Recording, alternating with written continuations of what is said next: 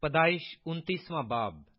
اور یعقوب آگے چل کر مشرقی لوگوں کے ملک میں پہنچا اور اس نے دیکھا کہ میدان میں ایک کنواں ہے اور کنویں کے نزدیک بھیڑ بکریوں کے تین ریوڑ بیٹھے ہیں، کیونکہ چرواہے اسی کنویں سے ریوڑوں کو پانی پلاتے تھے اور کنویں کے منہ پر ایک بڑا پتھر دھرا رہتا تھا۔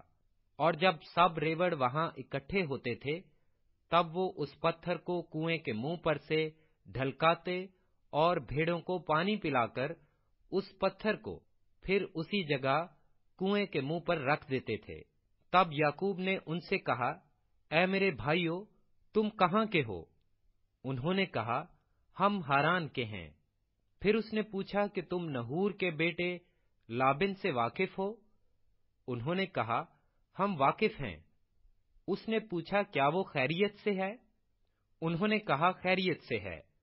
اور وہ دیکھ، اس کی بیٹی راخل بھیڑ بکریوں کے ساتھ چلی آتی ہے۔ اور اس نے کہا، دیکھو، ابھی تو دن بہت ہے اور چوپایوں کے جمع ہونے کا وقت نہیں۔ تم بھیڑ بکریوں کو پانی پلا کر پھر چرانے کو لے جاؤ۔ انہوں نے کہا، ہم ایسا نہیں کر سکتے۔ جب تک کہ سب ریوڑ جمع نہ ہو جائیں، تب ہم اس پتھر کو کنویں کے منہ پر سے ڈھلکاتے ہیں اور بھیڑ بکریوں کو پانی پلاتے ہیں۔ اور ان سے باتیں کر ہی رہا تھا کہ راخل اپنے باپ کی بھیڑ بکریوں کے ساتھ آئی، کیونکہ وہ ان کو چرایا کرتی تھی۔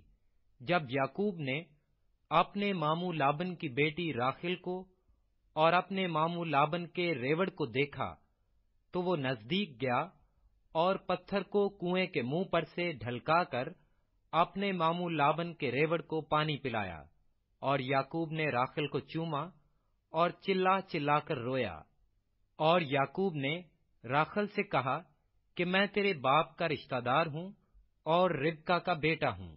تب اس نے دوڑ کر اپنے باپ کو خبر دی۔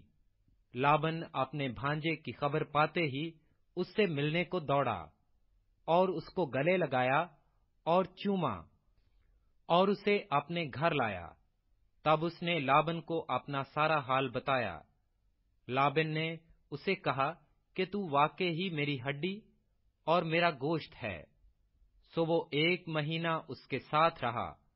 تب لابن نے یعقوب سے کہا، چونکہ تو میرا رشتہ دار ہے، تو کیا اس لیے لازم ہے کہ تو میری خدمت مفت کرے؟ سو مجھے بتا کہ تیری اجرت کیا ہوگی۔ اور لابن کی دو بیٹیاں تھیں۔ بڑی کا نام لیہا اور چھوٹی کا نام راخل تھا۔ لیہا کی آنکھیں چوندھی تھیں، پر راخل حسین اور خوبصورت تھی۔ اور یعقوب راخل پر فریفتہ تھا، سو اس نے کہا کہ تیری چھوٹی بیٹی راخل کی خاطر میں سات برس تیری خدمت کر دوں گا۔ لابن نے کہا، اسے غیر آدمی کو دینے کی جگہ تو تجھی کو دینا بہتر ہے۔ تو میرے پاس رہ۔ چنانچہ یعقوب سات برس تک راخل کی خاطر خدمت کرتا رہا، پر وہ اسے راخل کی محبت کے سبب سے چند دنوں کے برابر معلوم ہوئے اور یعقوب نے لابن سے کہا کہ میری مدت پوری ہو گئی، سو میری بیوی مجھے دے تاکہ میں اس کے پاس جاؤں۔ تب لابن نے اس جگہ کے سب لوگوں کو بلا کر جمع کیا اور ان کی ضیافت کی۔ اور جب شام ہوئی تو اپنی بیٹی لیہا کو اس کے پاس لے آیا اور یعقوب اس سے ہم آگوش ہوا اور لابن نے اپنی لونڈی زلفا اپنی بیٹی لیہا کے ساتھ کر دی کہ اس کی لونڈی ہو۔ جب صبح کو معلوم ہوا کہ یہ تو لیہا ہے، تب اس نے لابن سے کہا کہ تو نے مجھ سے یہ کیا کیا؟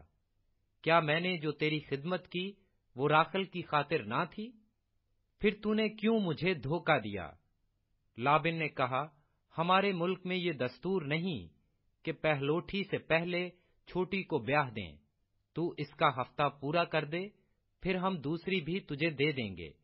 جس کی خاطر تجھے سات برس اور میری خدمت کرنی ہوگی۔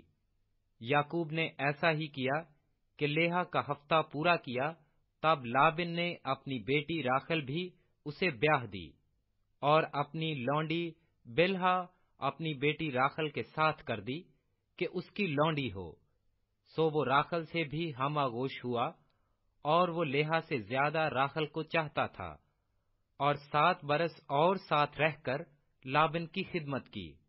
اور جب خداون نے دیکھا کہ لیہا سے نفرت کی گئی تو اس نے اس کا رحم کھولا، مگر راخل بانج رہی اور لیہا حاملہ ہوئی اور اس کے بیٹا ہوا۔ اور اس نے اس کا نام رابن رکھا، کیونکہ اس نے کہا کہ خداون نے میرا دکھ دیکھ لیا، سو میرا شوہر اب مجھے پیار کرے گا۔ پھر وہ حاملہ ہوئی اور اس کے بیٹا ہوا۔ تب اس نے کہا کہ خداون نے سنا کہ مجھ سے نفرت کی گئی، اس لیے اس نے مجھے یہ بھی بخشا۔ سو اس نے اس کا نام شمون رکھا، اور پھر وہ حاملہ ہوئی اور اس کے بیٹا ہوا۔ تب اس نے کہا کہ اب اس بار میرے شوہر کو مجھ سے لگن ہوگی، کیونکہ اس سے میرے تین بیٹے ہوئے، اس لیے اس کا نام لاوی رکھا گیا۔ اور وہ پھر حاملہ ہوئی اور اس کے بیٹا ہوا۔ تب اس نے کہا کہ اب میں خداون کی ستائش کروں گی، اس لیے اس کا نام یہودا رکھا۔ پھر اس کے اولاد ہونے میں توقف ہوا۔